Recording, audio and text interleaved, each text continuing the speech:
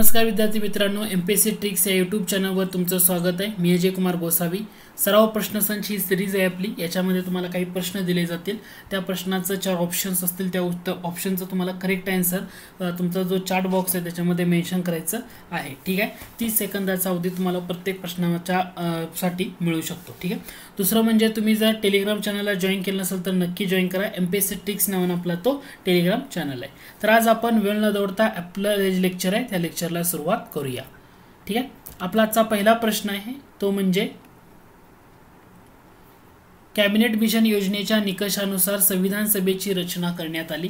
खालील पर्यायामधून कोणतं विधान योग्य नाही ते ओळखायचं आहे म्हणजे तुम्हाला चार विधानं दिलीत आणि कोणतं योग्य नाही ते ओळखायचं आहे पहिलं विधान आहे संविधान सभेत एकूण तीनशे एकोणनव्वद सदस्य ठरविण्यात आले. दुसरं विधान आहे एक लाख लोकसंख्येमागं एक प्रतिनिधी याप्रमाणे सदस्यांची निवड करण्यात आली. तिसरं विधान आहे संविधान सभेचे सदस्य जनतेमधून अप्रत्यक्षपणे निवडले गेले. आणि पुढचं विधान आहे खालील वरीलपैकी कोणतंही नाही. दिलेल्या विधानामधून तुम्हाला अचूक उत्तर निवडायचं आहे तुमचा टायमर सुरू होतोय लगेच. तीस सेकंदाचा वेळ आहे. कमेंट बॉक्समध्ये किंवा तुमचा जो चार्ट बॉक्स असेल तुम्हाला तिथं त्याच्यामध्ये तुम्ही उत्तर देऊ शकता. ठीक आहे? सिंपलचा प्रश्न आहे. कॅबिनेट मिशन योजना. ठीक आहे? म्हणजे जेव्हा भारतामध्ये राजकीय पेच प्रसंग निर्माण झाला होता तो सोडवण्यासाठी ब्रिटनच्या पंतप्रधानांनी म्हणजे ज्यावेळी लॉर्ड क्लेमंट होते त्यांनी आपल्या मंत्रिमंडळातले तीन मंत्र्यांना पाठवलं होतं. Sir Pethick Lawrence sir Stafford Cripps Albert Alexander. ठीक आहे? आणि त्या मंडळाला आपण कॅबिनेट मिशन म्हणतो. ओके? तर आता या प्रश्नाचं अचूक उत्तर जे आहे तर ते उत्तर येते पर्याय क्रमांक दोन. बरोबर. बऱ्याच जणांनी उत्तर दिलंय. त्या पद्धतीने तुम्ही लक्षात घ्या. एक लाख लोकसंख्येमागे एक प्रतिनिधी हा घटक येणार आहे का नाही? या ठिकाणी का बरं हे दुसरं विधान अयोग्य नाही? चुकीचं का आहे? कारण इथं एक लाख आहे का? नाही. एक लाखच्या ऐवजी काय पाहिजे होतं? दहा लाख पाहिजे होतं. एक लाखच्या ऐवजी काय पाहिजे होतं? दहा लाख. म्हणजे हे पहिलं विधान बरोबर आहे. म्हणजे हे विधान तुमचं चुकीचं ठरतं या एका महत्त्वाच्या घटका घटनामुळं. ठीक आहे? तर हे तुम्हाला म इम्पॉर्टंट घटक आहे. म्हणजे आता ब्रिटिश भारताचा जर विचार करा तर जर प्रांतामधले दोनशे ब्याण्णव प्रांताचे सदस्य चीफ कमिशनर आयुक्तांचे चार सदस्य म्हणजे चार प्रांत होते. म्हणजे दिल्ली अजमेर मारवाड कुर्ग आणि बलुचिस्तान ओके? दिल्ली अजमेर मारवाड कुर्ग आणि बलुचिस्तान. आणि संस्थानिकांचे त्र्याण्णव असे मिळून तीनशे एकोणनव्वद सदस्य होते. पहिल्यांदा काय केलं होतं? एक संपत्ती आणि शिक्षण याच्यावर बेसिकली कन्सिडर केलं होतं. एकोणीसशे पस्तीसच्या कायद्या कायद्यानुसार मतदानाचा अधिकार हा त्यासाठी निवडला दिला गेला होता. तर हा घटक इथं लक्षात घ्या. म्हणजे चुकीचं विधान कोणतं आहे पर्याय क्रमांक दोन हे तुमचं करेक्ट आन्सर आहे. ठीक आहे? जाऊया पुढच्या प्रश्नाकडं. पुढचा प्रश्न आहे तो म्हणजे खालीलपैकी कोणत्या पक्षाने संविधान सभेच्या एक जागा जिंकल्या नाहीत? संविधान सभेची एक जागा कोणत्या पक्षानं जिंकली नाही? Unionist party unionist Muslim unionist अनुसूचित जाती का युनियनिस्ट अनुसूचित जमाती? तुम्हाला करेक्ट आन्सर यामध्ये द्यायचं आहे. ठीक आहे? सिंपल आहे. संविधान सभेच्या एक जागा जिंकल्या नाहीत. कोणता पक्ष आहे? सगळे नावं सारखं दिसतील. युनियनिस्ट पार्टी पण आहे युनियनिस्ट मुस्लिम पण आहे युनियनिस्ट अनुसूचित जाती आहे युनियनिस्ट अनुसूचित जमाती.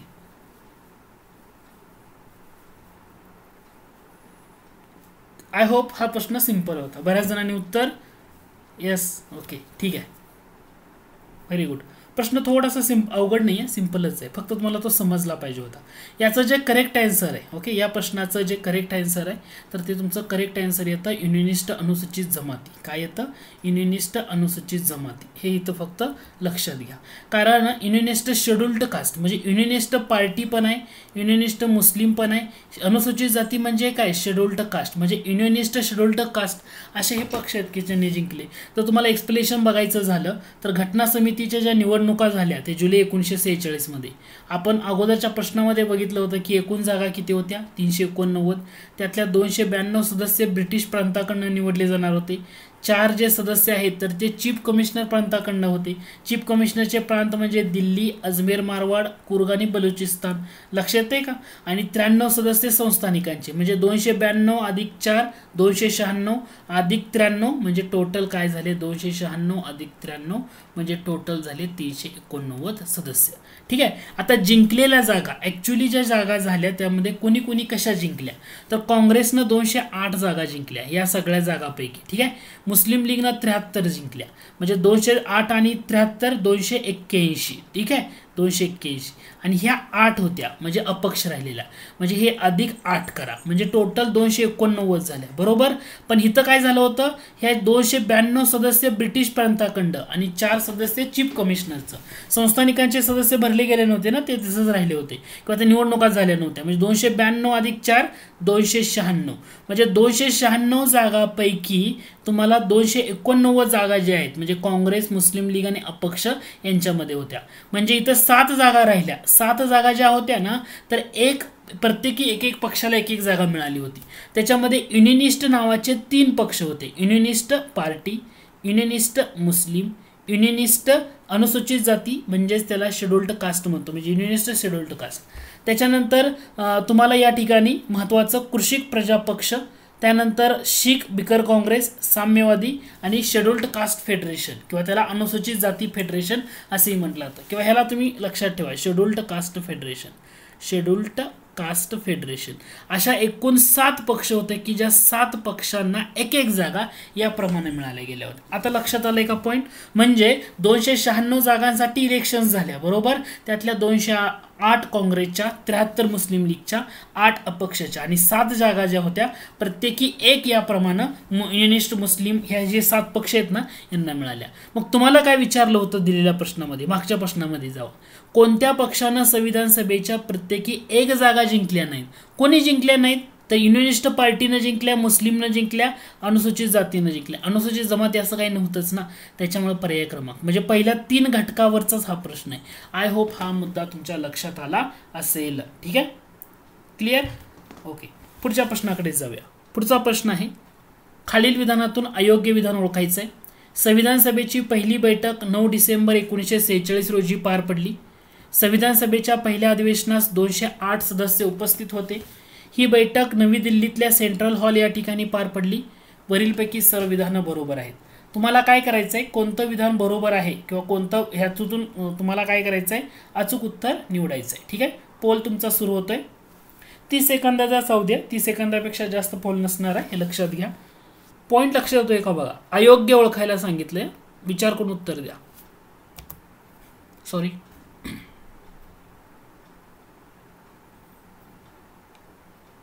ठीक आहे पोलचा पोलमध्येच थांबला. ओके. ठीक आहे ठीक आहे.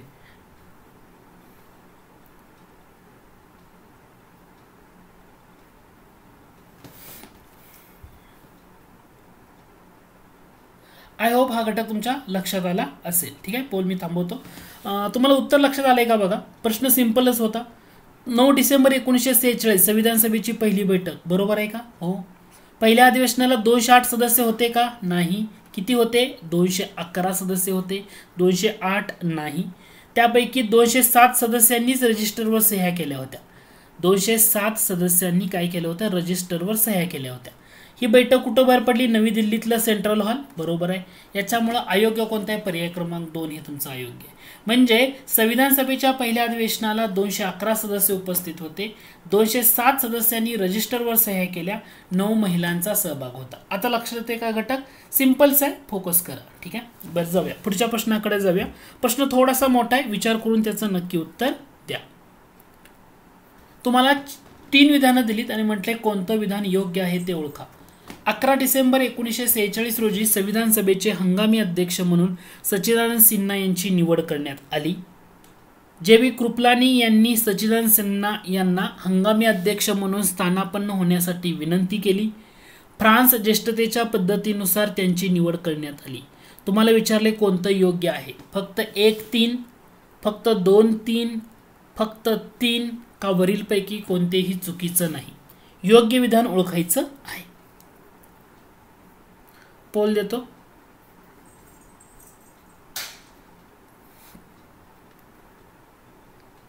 तीस सेकंदाचा वेळ आहे. विचार करून उत्तर द्या. अवघड नाही आहे.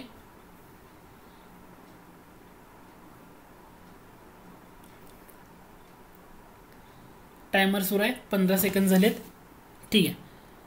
म्हणजे आयोग कशावर कन्फ्यूज करतं? त्याचा एक बेस्ट एक्झाम्पल म्हणजे हा प्रश्न आहे. म्हणजे आयोगाचं ज्या ठिकाणी आयोगाने कन्फ्युजन केले त्याच्यासाठी असलेला. आय होप हे तुमच्या आता प्रश्न लक्षात आला असेल. बऱ्याच लोकांनी उत्तर द्या. ओके? ठीक आहे. बऱ्याच लोकांनी उत्तर देण्याचा प्रयत्न पण केला आहे लक्षात घ्या तुम्हाला योग्य विधान ओळखायला सांगितलं होतं. दिलंय काय?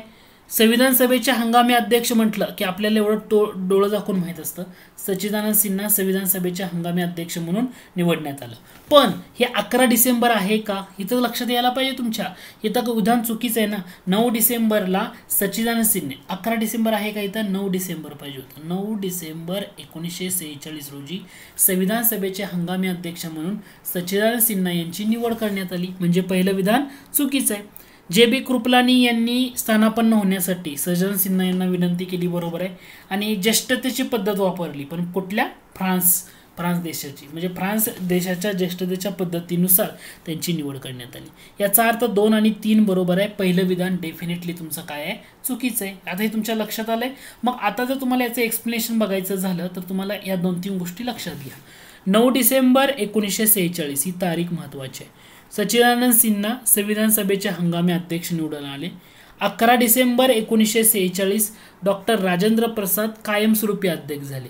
नऊ डिसेंबर अकरा डिसेंबर. तारखामध्ये आयोगानं बऱ्याच वेळा कन्फ्युजन केलंय तुम्हाला.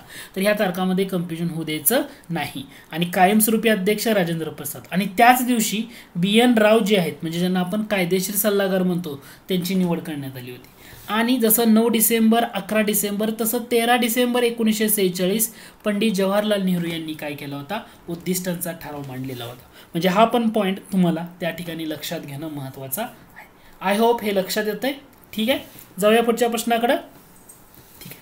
पुढचा प्रश्न आहे सिम्पल्स आहे नऊ डिसेंबर एकोणीसशे सेहेचाळीस रोजी संविधान सभेच्या पहिल्या बैठकीत खालीलपैकी कोणाची संविधान सभेचे हंगामी उपाध्यक्ष म्हणून निवड करण्यात आली?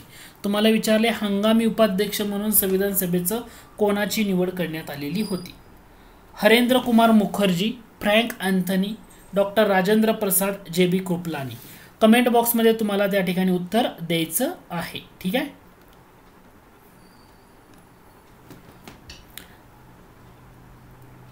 संविधान सभेच्या हंगामी उपाध्यक्ष म्हणून कोणाची निवड करण्यात आली? पंधरा सेकंद वीस सेकंद क सफिशियंट आहे आय थिंक तुम्हाला या प्रश्नाचं उत्तर द्यायला. ठीक आहे? सिम्पलचा प्रश्न आहे. ओके ठीक आहे. बऱ्याच लोकांनी ट्राय केले. पार्टिसिपेट हो करत चला.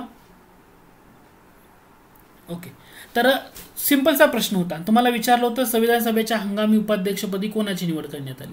उत्तर काय? Frank Anthony. म्हणजे झालं होतं काय? की जे हंगामी अध्यक्ष होते. हंगामी अध्यक्षांचं नाव होतं सच्चिदानंद सिन्हा. ठीक आहे?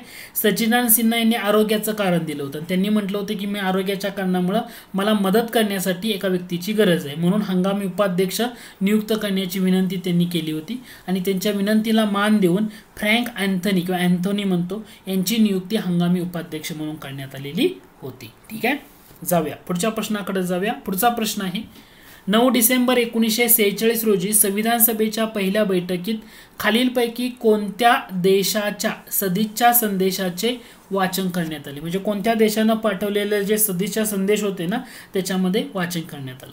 अमेरिका चीन रशिया की ऑस्ट्रेलिया असे तुम्हाला ऑप्शन दिलेले आहेत आणि तुम्हाला काय म्हटलंय? याच्यातून ॲन्सर निवडायचं आहे ठीक आहे? पोल देतो. पर्याय इथं आहेत. एक दोन तीन एक तीन चार एक दोन चार वरीलपैकी सर्व. कोणत्या देशाच्या सदिच्छा संदेशाचं वाचन करण्यात आलं? संविधान सभेच्या पहिल्या बैठकीत.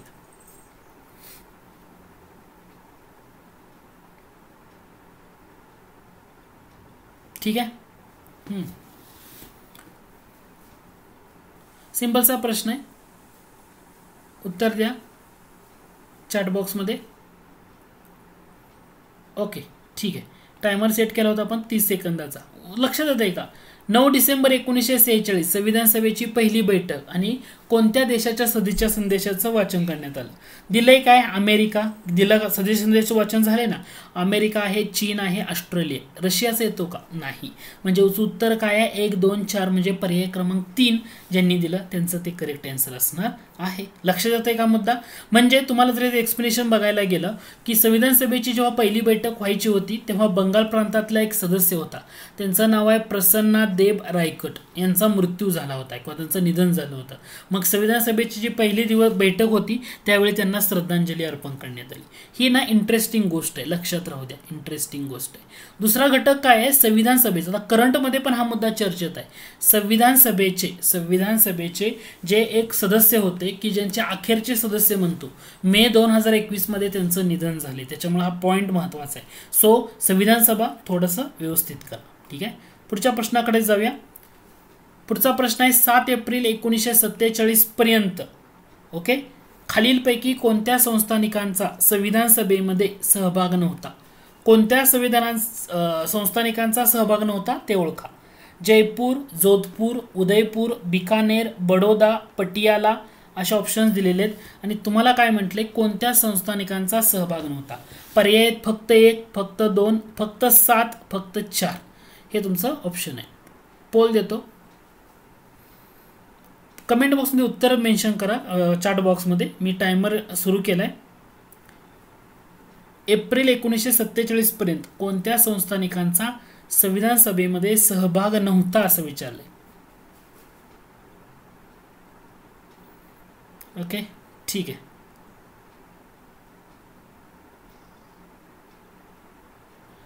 ओके या प्रश्नाचं जर तुम्ही करेक्ट आन्सर बघितलं तर त्याचं करेक्ट आन्सर येतं ते म्हणजे पर्याय क्रमांक दोन बरोबर. म्हणजे पर्याय क्रमांक हा जो आहे या ठिकाणी जोधपूर येणार नाही. म्हणजे जयपूर उदयपूर बिकानेर बडोदा पटियाला रेवा. म्हणजे तुम्हाला लक्षात ठेवायचं आहे की ह्यामध्ये एकूण सहा संस्थानिकं महत्त्वाची जयपूर उदयपूर बिकानेर बडोदा पटियाला रेवा या सहा संस्थानिकांनी सहभाग घेतलेला होता किंवा सहभागी झाले होते. कोण झालं नव्हतं? जोधपूर झालं नव्हतं. किंवा लक्षात ठेवताना असं पण लक्षात ठेवा. उदयपूरची रेवा उदयपूरची रेवा पटियाला घालून उदयपूरची रेवा पटियाला घालून जयपूर बिकानेर मार्गे जयपूर बिकानेर मार्गे बडोद्याला आली. कुठं आली? बडोद्याला आली. आता लक्षात आहे का? उदयपूरची रेवा पटियाला घालून जयपूर बिकानेर मार्गे बडोद्याला आली. म्हणजे इथं तुमचे सगळे घटक होतं. जयपूर उदयपूर बिकानेर बडोदा पटियाळा रेवा हे सगळे घटक तुमचे इथं क्लिअर होतील. हे एवढं लक्षात घ्या. ठीक आहे? म्हणजे जोधपूर येणार नाही. पुढच्या प्रश्नाकडे जाऊया. ठीक आहे? खालील विधानातून अयोग्य विधान ओळखा असं म्हटले. जान बावीस जानेवारी एकोणीसशे सत्तेचाळीस रोजी संविधान सभेने भारताचा राष्ट्रध्वज स्वीकृत केला. मे एकोणीसशे एकोणपन्नासमध्ये भारताच्या राष्ट्रकुलाच्या सदस्यत्वाला अनुमोदन दिले. चोवीस जानेवारी एकोणीसशे पन्नास रोजी राष्ट्रगीत राष्ट्रगान स्वीकारले. वरीलपैकी कोणतेही नाही असे ऑप्शन्स आहेत. तुम्हाला करेक्ट आन्सर द्यायचं आहे ठीक आहे? टायमर सुरू होईल. अयोग्य विधान ओळखायचं आहे तुम्हाला चार विधानं दिलीत आणि कोणतं विधान अयोग्य आहे ना ते ओळखायचं आहे सिंपलचा प्रश्न आहे.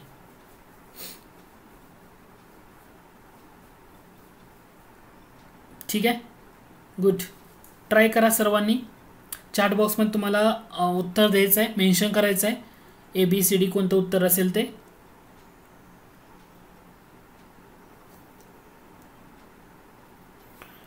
ठीक आहे. प्रश्न होता सिंपल बऱ्याच लोकांना उत्तर देता आलं नाही. बावीस जानेवारी एकोणीसशे सत्तेचाळीस. आहे का ही तारीख. आपल्याला राष्ट्रध्वज स्वीकृत केला. भारताचा राष्ट्रध्वज केव्हा स्वीकृत केला? बावीस जुलै एकोणीसशे सत्तेचाळीस. जानेवारी आहे का? नाही. याचा अर्थ पहिलं विधान चुकीचं आहे म्हणजे पर्याय क्रमांक एक हे तुमचं करेक्ट आन्सर आहे. मे एकोणीसशे एकोणपन्नासमध्ये राष्ट्रकुलाच्या सदस्यत्वाला अनुमोदन दिलं बरोबर आहे. चोवीस जानेवारी एकोणीसशे पन्नासला राष्ट्रगीत राष्ट्रगान स्वीकारलं. आणि मग बावीस जानेवारी एकोणीसशे सत्तेचाळीसला काय? बावीस जानेवारी एकोणीसशे सत्तेचाळीसला जो पंडित नेहरूंनी मांडलेला उद्दिष्टांचा ठराव होताना त्या स्वीकृत करण्यात आला.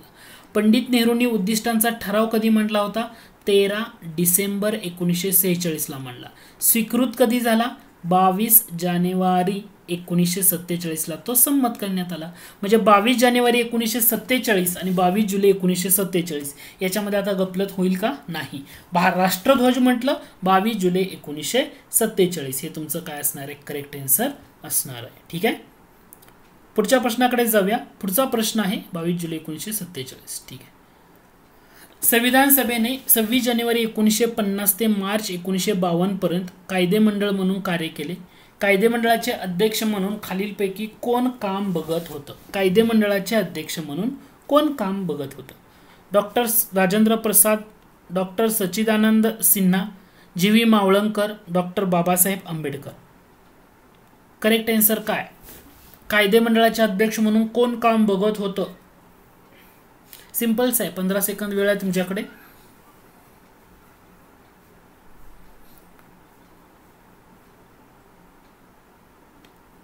ठीक आहे. सिम्पलचा प्रश्न होता. याचा जे करेक्ट आन्सर आहे तर ते आहे जी व्ही मावळंकर कायदे मंडळाचे अध्यक्ष. मग जी व्ही मावळंकर यांची कायदे मंडळाचे अध्यक्ष म्हणून केव्हा निवड झाली? सतरा नोव्हेंबर एकोणीसशे सत्तेचाळीस. तुम्हाला इथं तारीख फक्त लक्षात घ्यायची येस सतरा नोव्हेंबर एकोणीसशे सत्तेचाळीस रोजी जी व्ही मावळंकर यांची कायदेमंडळाचे अध्यक्ष म्हणून निवड झालेली होती. हे महत्त्वाचं आहे. ठीक आहे? येस क्लिअर ओके पुढचा प्रश्न आहे. एकोणतीस ऑगस्ट एकोणीसशे सत्तेचाळीस या दिवशी मसुदा समितीची स्थापना झाली. खालीलपैकी कोणती व्यक्ती या समितीची सदस्य नव्हती? J B Kripalani N Gopalaswami Ayyangar Alladi Krishnaswami Iyer doctor K M Munshi. आणि तुम्हाला या प्रश्नाचं करेक्ट ॲन्सर द्यायचं आहे वेळ आहे पंधरा सेकंदाचा. लक्षात घ्या पंधरा ते वीस सेकंद देतो. मसुदा समितीची जी स्थापना झाली कोणती व्यक्ती या मसुदा समितीची सदस्य नव्हती? पंधरा ते वीस सेकंदाचा अवधी मिळेल तुम्हाला. टायमर सुरू करतोय. चॅट बॉक्समध्ये तुम्हाला उत्तर मेन्शन करायचं आहे. M P C tricks Telegram channel आहे त्या ठिकाणी जॉईन होत चला. अपडेट नोटिफिकेशन तुम्हाला त्या ठिकाणी मिळत जाते. चॅनलला अजून सबस्क्राईब केलं नसेल तर नक्की करा. ठीक आहे? ओके सिम्पलचा प्रश्न होता. एकोणतीस ऑगस्ट एकोणीसशे सत्तेचाळीस. करेक्ट आन्सर काय असणार आहे बरं या प्रश्नाचं? या प्रश्नाचं जे बी कृपलानी सदस्य होते का नाही?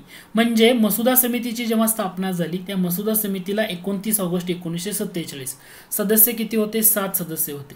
अध्यक्ष होते डॉक्टर बाबासाहेब आंबेडकर. म्हणजे एन गोपालस्वामी अय्यंगर हे सदस्य आहेत. अल्लादी कृष्णस्वामी अय्यर आहेत. डॉक्टर के एम मुंशी हे पण आहेत. सय्यद मोहम्मद सादुल्ला हे पण आहेत. एन माधवराव म्हणजे माधवराव म्हणजे बी एल मित्तर यांच्या जागी आले होते. कारण त्यांनी आरोग्याच्या कारणामुळे मित्तर यांनी राजीनामा दिला म्हणून माधवराव येतात. T T Krishnamachari. ॲक्च्युली हे कोणामुळे आले? डी पी खेतान यांचा एकोणीसशे अठ्ठेचाळीसमध्ये मृत्यू झाला.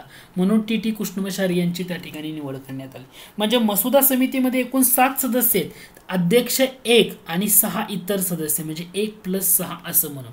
आणि मसुदा समितीची स्थापना कधी झाली होती? एकोणतीस ऑगस्ट एकोणीसशे सत्तेचाळीस. एम पी एस सीने ना तुम्हाला या तारखेवर सुद्धा प्रश्न विचारलेला आहे. सिम्पलच आहे ना लक्षात ठेवायला अवघड नाही. अय्यंगर अय्यर मुंशी सादुल्ला राव आणि कृष्णमचारी एवढं लक्षात घ्या. येत काय नव्हतं? प्रश्नामध्ये दिलेल्या परिणामाला कृपलानी येणारच नव्हते ना. तुम्हाला कोणता सदस्य नव्हता म्हटलं? अय्यंगर होता अय्यर होते मुंशी होते. कृपलानी नव्हते. हे तुमचं इथं क्लिअर होऊन जाईल. ठीक आहे. पुढचा प्रश्न आहे. थोडासा अवघड आहे. विचार करून उत्तर द्या. जास्त अवघड नाही आहे पण याच्यावर बऱ्याच वेळा विचारलं आहे भारतीय संविधानातील खालीलपैकी कोणत्या तरतुदी सव्वीस नोव्हेंबर एकोणीसशे एकोणपन्नास या दिवसापासून लागू झाल्या? कोणत्या तरतुदी सव्वीस नोव्हेंबर एकोणीसशे एकोणपन्नास या दिवसापासून लागू झाल्या? नागरिकत्वाशी संबंधित राष्ट्रपतींची निवडणूक आकस्मिक परिस्थितीमध्ये राष्ट्रपतींचे अधिकार राष्ट्रपतींची शपथ तात्पुरती संसद व तिचे सभापती उपसभापती आणि निवडणुका. हे सगळं दिलेलं आहे आणि तुम्हाला म्हटलं करेक्ट आन्सर कोणता आहे ना ते ओळखा. एक दोन तीन पाच एक तीन चार पाच एक तीन पाच वरीलपैकी कोणतंही चुकीचं नाही. सव्वीस नोव्हेंबर एकोणीसशे एकोणपन्नास या दिवसापासून कोणत्या तरतुदी लागू झाल्या?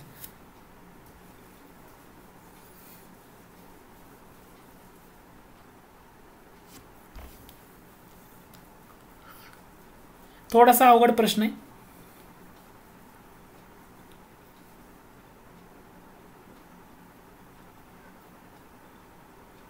ठीक आहे. वेळ थोडासा दिला मी. ओके ठीक आहे. बऱ्याच लोकांनी ट्राय केलं या प्रश्नाचं उत्तर द्यायला. ठीक आहे. तुम्हाला काय म्हणतोय? सव्वीस नोव्हेंबर एकोणीसशे एकोणपन्नास या दिवसापासून कोणत्या तरतुदी लागू झाल्या? नागरिकत्वाशी संबंधित म्हणजे भारतीय राज्यघटनेतलं आर्टिकल पाच टू नाईन पाच ते नऊ नागरिकत्वाशी संबंधित आहे लागू झालं. राष्ट्रपतींची निवडणूक हे येतं का यामध्ये? नाही. राष्ट्रपतींची शपथ साठ हे सुद्धा लागू झालं होतं. म्हणजे हे डेफिनेटली आहे. आकस्मिक परिस्थितीमध्ये राष्ट्रपतींचे अधिकार म्हणजे एक्क्याण्णव ब्याण्णव त्र्याण्णव हा जो घटक आहे तीनशे एक्क्याण्णव ब्याण्णव आणि तीनशे त्र्याण्णव इतर तरतुदीमधला हा पण लागू झाला. तात्पुरती संसद तिचे सभापती व उपसभापती म्हणजे जवळपास तीनशे एकोणऐंशी ऐंशीच्या आर्टिकल आहेत हे लागू झाले. निवडणुका निवडणुका म्हणजे कलम तीनशे चोवीस हे सुद्धा लागू झालं. म्हणजे राष्ट्रपतीची निवडणूक कलम शपथ सांडलं राष्ट्रपतीची निवडणुकीचं कलम त्यामध्ये येतं का? नव्हतं. म्हणून याचं उत्तर आहे एक तीन चार पाच बरोबर. पण इथं प्रश्न चुकीचं आहे. का चुकीचं आहे? इथं तुम्हाला सहा पण दिले. पण ठीक आहे तुम्हाला ऑप्शनपैकी तुम्ही जर निवडलं तर इथं तुम्हाला सहा पण घ्या. इथं पण सहा घ्या किंवा इथं पण सहा घ्या. लक्षात आहे का मुद्दा? प्रश्न काय आहे किंवा तो घटक काय आहे तुम्हाला तो लक्षात आला पाहिजे. कारण दोन चुकीचे म्हणजे दोन तुम्हाला इलिमिनेट करता आला पाहिजे. दुसरी गोष्ट चार बरोबर आहे चार उत्तर देता आलं पाहिजे. म्हणजे हे उत्तर आहे. म्हणजे तुम्हाला या पॉईंटमध्ये काय लक्षात घ्यायचं आहे बघा? भारतीय संविधानाचं कलम तीनशे चौऱ्याण्णव या तीनशे चौऱ्याण्णवनुसार सव्वीस नोव्हेंबर एकोणीसशे एकोणपन्नास या दिवशी खालील तरतुदी लागू झाल्या होत्या. नागरिकत्वाशी संबंधित आपल्याला पाच टू अकरा माहीत आहेत. परंतु पाच ते नऊ ह्या नागरिकत्वाच्या संबंधित तरतुदी सव्वीस नोव्हेंबर एकोणीसशे एकोणपन्नासला लागू झाल्या. म्हणून इथं पाच टू नऊ हे लक्षात घ्या. हां अकरा नाही आहे राष्ट्रपतींची शपथ कलम साठ हे सुद्धा लागू झालं. निवडणुका कलम तीनशे चोवीस लागू झालं. त्यानंतर कलम तीनशे सहासष्ट सदुसष्ट व्याख्या अर्थबोधन आहेत. एकोणऐंशी ऐंशी तात्पुरती संसद तिचे सभापती उपसभापतीच्या संदर्भात हंगामी संसद हंगामी विद्यामंडळ तीनशे अठ्ठ्याऐंशी आणि आकस्मिक परिस्थितीमध्ये राष्ट्रपतींचे अधिकार व इतर तरतुदी. एक्क्याण्णव ब्याण्णव त्र्याण्णव. म्हणजे राष्ट्रपती शपथ आहे परंतु राष्ट्रपती निवडणुका नाही. म्हणून इथलं पर्याय क्रमांक दोन उत्तर येणार आहे. दोन सोडून सगळं बरोबर. पॉईंट समजून घ्या. घटक महत्त्वाचा. क्लिअर ठीक आहे. पुढचा प्रश्न आहे. सिम्पल्स आहे. भारतीय संविधानातील खालीलपैकी कोणती तरतूद आयरिश राज्यघटनेकडून घेतलेली नाही ते ओळखा. राज्य धोरणाची मार्गदर्शक तत्व राष्ट्रपतीच्या निवडणुकीची पद्धत राज्यसभेवर काही सदस्यांचं नामनिर्देशन हा तिसरा ऑप्शन आहे. आणि चौथा ऑप्शन आहे या ठिकाणी तो म्हणजे राज्यसभेच्या सदस्यांची निवडणूक. तुम्हाला करेक्ट आन्सर द्यायचं आहे कोणती तरतूद आयरिश राज्यघटनेमधून घेतलेली नाही? सिम्पल्स आहे. काय उत्तर असेल? चार्ट बॉक्समध्ये मेन्शन करा. येस आणखी कोण? ट्राय करा.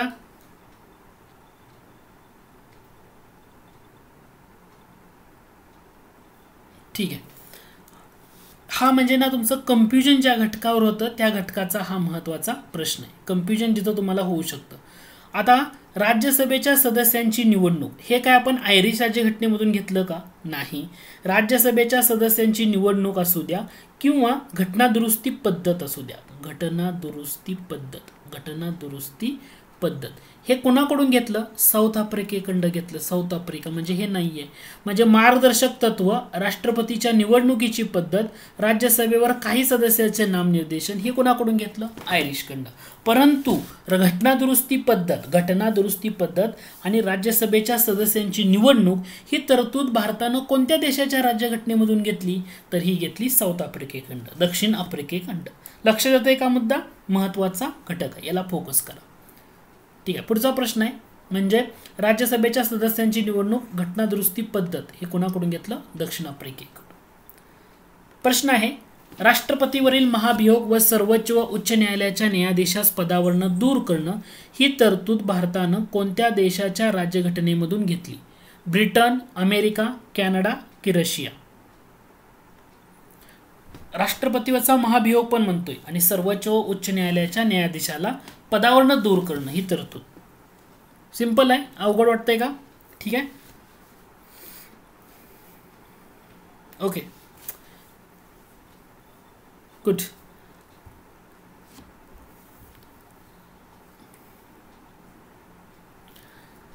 सिम्पलचा घटक होता. ब्रिटन अमेरिका कॅनडा की रशिया. याचं जे करेक्ट आन्सर जर तुम्ही बघितलं तर या प्रश्नाचं करेक्ट आन्सर येतं. ते म्हणजे पर्याय क्रमांक दोन अमेरिकेची राज्यघटना. अमेरिकेच्या राज्यघटनेमध्ये. ठीक आहे? अमेरिकेच्या राज्यघटनेत तुम्हाला समजा असा प्रश्न विचारला. उपराष्ट्रपती हे पद कोणत्या देशाच्या उपराष्ट्रपती? कोणत्या देशाच्या राज्यघटनेमधून हे तरतूद घेण्यात आली? उपराष्ट्रपती म्हटलं अमेरिका. उत्तर काय असलं पाहिजे? अमेरिका. किंवा शेषाधिकार केंद्राकडं असणं. शेषाधिकार हे केंद्राकडं असणं. कुणाकडून घेतलं भारतानं? ओके? किंवा बरेच घटक आहेत. असं तुम्हाला विचारलं कॅनडा येणार आहे. की त्या घटकाला किंवा त्या मुद्द्याला तुम्ही थोडंसं फोकस करा. पुढचा प्रश्न आहे सिम्पलचा घटक आहे. न्यायव्यवस्था ही तरतूद भारतानं कोणत्या देशाच्या राज्यघटनेमधून घेतली? अमेरिका ब्रिटन कॅनडा की भारतीय शासन कायदा एकोणीसशे पस्तीस. तुम्हाला सिंपलचा घटक दिलाय. न्याय व्यवस्था ही तरतूद कोणत्या देशाच्या राज्यघटनेमधून भारतानं घेतलं किंवा कोणत्या देशात किंवा कायद्यामधून घेतलं असं म्हटलेलं आहे. न्याय व्यवस्था. काय उत्तर असेल बरं? अजून कोण? सिंपलच आहे. न्याय व्यवस्था विचारले तुम्हाला. आता इथे तुम्ही थोडंसं कन्फ्युजन होईल तुमचं. ठीक आहे? बऱ्याच लोकांचं. तुम्हाला न्यायव्यवस्था विचारली विचारले. आता या ठिकाणी तुम्हाला या मुद्द्याला मी परत एकदा घेऊन जातो. ठीक आहे? या मुद्द्याला मी परत एकदा सांगतो. न्यायव्यवस्था म्हटले. तुम्हाला न्याय व्यवस्थेचं स्वातंत्र्य किंवा न्यायिक पुनर्विलोकन म्हटलंय का? न्याय व्यवस्था म्हणजे भारतीय शासन कायदा. जर तुम्हाला न्याय व्यवस्थेचे स्वातंत्र्य असा शब्द दिला किंवा न्यायिक पुनर्विलोकन दिलं तर तुमचं उत्तर अमेरिका उत्तर येणार आहे अमेरिकेकडं घेतलं. पण तुम्हाला नुसतं न्याय व्यवस्था म्हटलं तर हे भारत शासनचा कायदा एकोणीसशे पस्तीस. म्हणजे संघराज्य योजना लोकसेवा आयोग राज्यपाल पद प्रशासकीय तपशील आणीबाणीविषयक तरतुदी हे आपण एकोणीसशे पस्तीसच्या कायद्यातून घेतलंय. आणि न्यायव्यवस्थेचं स्वातंत्र्य न्यायिक पुनर्विलोकन अमेरिकेकडं मूलभूत हक्क अमेरिका. उपराष्ट्रपती अमेरिका. राष्ट्रपतीवरचा महाभियोग किंवा सर्वोच्च उच्च न्यायालयाच्या न्यायाधीशाला पदावरनं दूर करणं हे सगळं आपण अमेरिकेकडं घेतलंय. यामध्ये ना कन्फ्युजन होऊ देऊ नका. पुढचा प्रश्न आहे प्रस्ताविकेमधील सामाजिक आर्थिक व राजकीय न्यायाचा आदर्श ही तरतूद भारतानं कोणत्या देशाच्या राज्यघटनेमधून घेतली? फ्रान्स रशिया ऑस्ट्रेलिया की जपान? प्रश्न होता प्रस्ताविकेमधील सामाजिक आर्थिक व राजकीय न्यायाचा आदर्श. इथं सुद्धा तुमचं थोडंसं कन्फ्युजन केल्यासारखं. काय उत्तर असेल? ठीक आहे. प्रस्ताविक म्हणजे आपला सरनामा प्रिम्बल ओके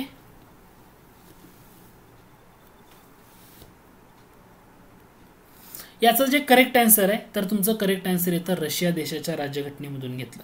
कारण मूलभूत कर्तव्य घ्या. किंवा इथं तुम्हाला कन्फ्यूज का होईल की प्रास्ताविकेमधलं स्वातंत्र्य समता आणि बंधुता हे आपण फ्रान्समधून घेतले. म्हणजे या ठिकाणी दोन घटक लक्षात घ्या. रशियाची किंवा यू एस एस आर राज्यघटना म्हणजे मूलभूत कर्तव्य तर आहेत पण प्रस्ताविकेमधलं सामाजिक आर्थिक व राजकीय न्यायाचा नेत्याचा झाले. न्यायाचा आदर्श पाहिजे. न्यायाचा आदर्श पाहिजे. ठीक आहे? आणि फ्रान्स देशाची राज्यघटना म्हटलं प्रस्ताविकेमधलं स्वातंत्र्य समता व बंधुता. स्वातंत्र्य समता बंधुता फ्रान्स देशात ऑस्ट्रेलियाच्या राज्यघटनेतनं लक्षात ठेवताना संव्यास लक्षात घ्या. संव्यास म्हणजे स संयुक्त बैठक. व्या व्यापार वाणिज्य स्वातंत्र्य आणि स समवर्ती सूची. म्हणजे संयुक्त बैठक समवर्ती सूची व्यापार वाणिज्य स्वातंत्र्य ऑस्ट्रेलियाकडं घेतलं. जपानमधून कायद्यानं प्रस्थापित पद्धत ही तरतूद घेतली. हे लक्षात येते ठीक आहे. पुढचा प्रश्न आहे. भारताने वेगवेगळ्या देशाच्या राज्यघटनेमधून वेगवेगळ्या तरतुदी घेतल्या खालीलपैकी कोणती जोडी अयोग्य आहे ते ओळखा. म्हणजे वेगवेगळ्या देशाच्या राज्यघटनेमधून काही ना काही भारताने तरतुदी घेतल्यात अयोग्य ओळखा म्हटले. सर्वोच्च न्यायालयाचे सल्लागार अधिकार क्षेत्र कॅनडा राज्यपालाचे पद कॅनडा उपराष्ट्रपती पद अमेरिका एकच नागरिकत्व ब्रिटन. आणि तुम्हाला म्हटले कोणतं अयोग्य आहे? फक्त दोन फक्त तीन फक्त चार का? वरीलपैकी कोणतंही नाही. विचार करून उत्तर द्या? भारतानं वेगवेगळ्या देशाच्या राज्यघटनेमधून वेगवेगळ्या तरतुदी घेतल्यात आणि कोणती जोडी अयोग्य आहे ना ते तुम्हाला त्यामध्ये ओळखायचं आहे. अयोग्य जोडी ओळखायची जास्त अवघड नाही आहे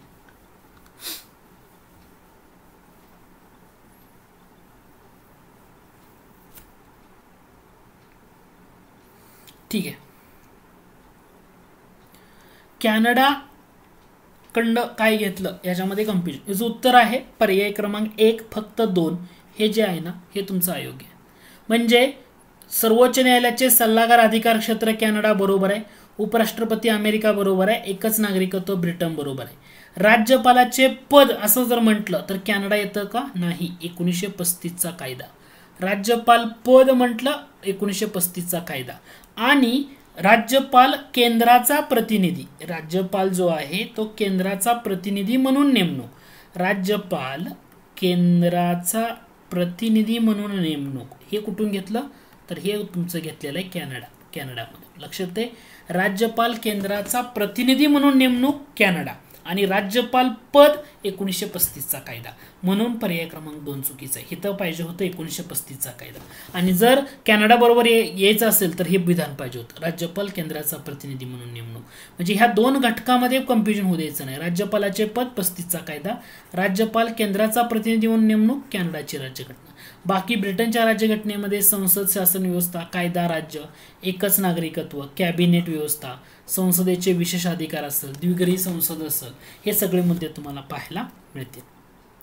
पुढचा प्रश्न आहे भारतीय संविधान हे भारतीय जनतेच्या इच्छेनुसार असेल असं कोणी म्हटलं?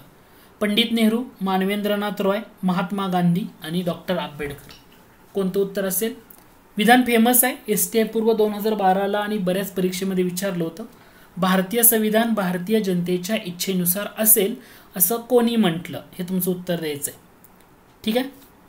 ओके या प्रश्नाचं जर तुम्ही अचूक उत्तर बघितलं तर याचं करेक्ट आन्सर येतं महात्मा गांधी. हे करेक्ट आन्सर आहे. काय आहे? महात्मा गांधी. सिम्पलचं संविधान होतं. पुढचा प्रश्न आहे तुम्हाला चार जोड्या दिलेत आणि कोणती जोडी चुकीची आहे ते ओळखा. संघ शक्ती समिती म्हणजे युनियन पॉवर कमिटी म्हणतो आणि तुम्हाला त्या ठिकाणी दिले पंडित जवाहरलाल नेहरू अध्यक्ष म्हणून. प्रक्रिया नियम समिती म्हणजे committee on the rules of procedure Sardar Vallabhbhai Patel प्रांतीय संविधान समिती म्हणजे provisional constitutional committee Sardar Vallabhbhai Patel आणि चौथा दिलं आहे संघीय संविधान समिती म्हणजे union constitution committee okay Pandit Jawaharlal Nehru. आणि तुम्हाला काय म्हटले खालीलपैकी कोणती जोडी चुकीची आहे ते ओळखा. तुमचा पोल सुरू होतोय आत्ता. विचार करून उत्तर द्या. आपण एक सिंपलचा घटक सांगितला होता. लक्षात कसा ठेवायचा? तुम्हाला दिलंय काय आणि उत्तर द्यायचंय काय? कमिटी आहेत आपल्या संविधान सभेमध्ये असलेल्या आणि त्या कमिटींचे अध्यक्ष असा घटक आहे. लक्ष येतोय का? ओके.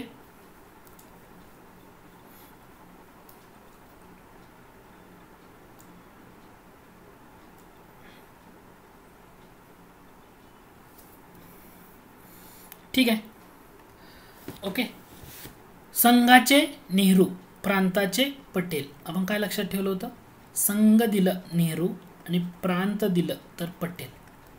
संघ म्हणतोय म्हणजे नेहरू बरोबर आहे. प्रांत म्हणतोय पटेल आहेत सरदार पटेल बरोबर आहे. संघ म्हणतोय म्हणजे नेहरू बरोबर आहे. तिन्ही विधानं बरोबर आहे तिन्ही जोड्या. चुकीची काय पर्याय क्रमांक? कारण प्रक्रिया नियम समिती सरदार वल्लभभाई पटेल येतच नाही प्रक्रिया नियम समिती म्हणजे committee on the rules of procedure म्हणतो किंवा नियम समिती असणारी पंधरा सदस्यीय समिती होती. डॉक्टर राजेंद्र प्रसाद त्याचे काय होते? अध्यक्ष होते. डॉक्टर राजेंद्र प्रसाद या समितीचे अध्यक्ष होते. पर्याय क्रमांक दोन असणार आहे. म्हणजे तुम्हाला काय लक्षात ठेवायचं आहे? डॉक्टर राजेंद्र प्रसाद अध्यक्ष असलेल्या महत्त्वाच्या समित्या कोणत्या? प्रक्रिया नियम समिती म्हणजे committee on the rules of procedure पंधरा सदस्यीय समिती होती. सुकाणू समिती म्हणजे त्याला संचालक समिती स्टिअरिंग कमिटी म्हणतो. याचेसुद्धा अध्यक्ष डॉक्टर राजेंद्र प्रसाद होते. वित्त आणि स्टाफ समिती फायनान्स अँड स्टाफ कमिटी नऊ सदस्य होती. नऊमध्ये एकमेव महिला होत्या राजकुमारी अमृत कौर. त्याचेसुद्धा अध्यक्ष डॉक्टर राजेंद्र प्रसाद होते. आणि राष्ट्रध्वजावरील ततर समिती म्हणजे ad hoc committee on the national flag की जो बावीस जुलै एकोणीसशे सत्तेचाळीस रोजी या राष्ट्रध्वज स्वीकृत झाला याचेसुद्धा अध्यक्ष कोण होते? डॉक्टर राजेंद्र प्रसाद होते. म्हणजे दिलेल्या पर्यायामधून तुम्हाला लक्षात आलं का? प्रक्रिया नियम समिती राजेंद्र प्रसाद पाहिजे. सरदार वल्लभभाई पटेल येत नाहीत. म्हणून पर्याय क्रमांक दोन ही जोडी तुमची चुकीची आहे. ठीक आहे? पुढचा प्रश्न आहे. सिंपलसा प्रश्न. मूलभूत हक्क उपसमितीचे उपाध्यक्ष कोण होते? उपसमिती म्हटले त्याचं उपाध्यक्ष कोण होते? तुम्हाला ऑप्शन दिलेत. S C Mukherjee Sardar Patel J B Kripalani Gopinath बारडोलोई. सांगा उत्तर याचं काय असेल? सिंपलसा घटक आहे. ठीक आहे? ओके. जास्त वेळ न घेता आपण याचा पुढे जाऊया. सिंपलचा घटक असल्यामुळं जे बी कृपलानी तुम्हाला उपसमिती म्हटले. मुख्य समिती जी होती सरदार पटेल अध्यक्ष होते. म्हणजे समजा तुम्हाला असं म्हटलं असतं मूलभूत हक्क अल्पसंख्याक हक्क आदिवासी आणि वगळलेल्या भागासाठीची जी समिती होती सरदार पटेल होते. आणि या समितीला वेगवेगळ्या उपसमित्या होत्या. म्हणजे उपसमित्यामध्ये मूलभूत हक्क म्हटलं जे बी कृपलानी अल्पसंख्याक हक्क म्हटलं एच सी मुखर्जी ईशान्य सीमा प्रांतातील आदिवासी भाग किंवा आसाममधील वगळलेला भाग गोपीनाथ बारडोलोई आणि आसाम व्यतिरिक्त म्हणजे आसाम सोडून वगळलेल्या व अंशतः वगळलेल्या भागासाठी ठक्कर समिती होती. म्हणजे घटक लक्षात आला का तुम्हाला? प्रश्न उच्चारला होता अल्प मूलभूत हक्क उपसमितीचे अध्यक्ष कोण? उपसमिती म्हणजे J B Kripalani S C Mukherjee जर दिलं असतं तर हे अल्पसंख्याक हक्क उपसमिती होती. अल्पसंख्याक हक्क उपसमितीचे अध्यक्ष कोण? हे मूलभूत हक्क उपसमिती जे बी कृपलानी. लक्षात येते का? मूलभूत हक्क उपसमिती जे बी कृपलानी. अल्पसंख्याक हक्क उपसमिती एस सी मुखर्जी. लक्षात ठेवा. आणि मेन कमिटी अध्यक्ष होते सरदार पटेल. ह्या उपसमिती आहेत सगळ्या. ओके? याच्यावर कन्फ्युजन होऊ देऊ नका. ठीक आहे? पुढच्या प्रश्नाकडे जाऊया. आजचा शेवटचा प्रश्न. राज्यांसाठी समिती म्हणजे राज्यांशी समझोता करणारी समिती state committee for negotiations with the state या समितीचे अध्यक्ष कोण होते? सरदार पटेल पंडित जवाहरलाल नेहरू डॉक्टर राजेंद्र प्रसाद की डॉक्टर बाबासाहेब आंबेडकर?